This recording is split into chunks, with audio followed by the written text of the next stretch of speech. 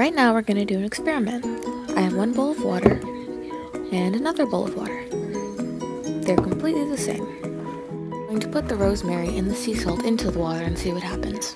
I'm going to use my wooden spoon and try to mix them in as best as I can. We're going to start with the salt. I'm going to pour in as much salt as I think is necessary.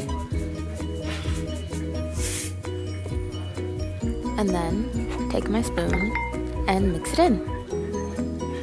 The final result is that the salt has completely dissolved in the water. There is no traces of salt anywhere within the bowl.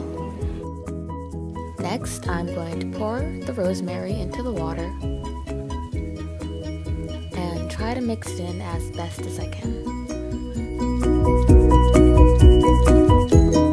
As you can see, the rosemary has not dissolved in the water at all.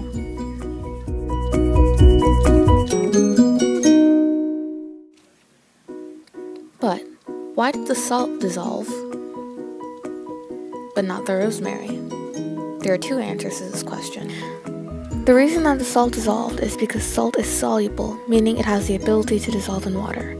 And when it did dissolve in water, it created a homogeneous mixture, meaning that it completely dissolved in a uniformly distributive way. The reason why the rosemary did not dissolve in the water is because rosemary is non-soluble, meaning it does not have the ability to dissolve in water.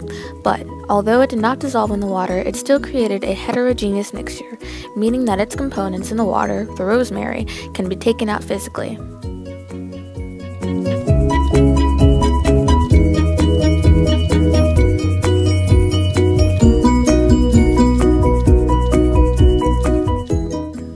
The rosemary, we can take out its components physically. In order to get the salt back out, we need to boil it.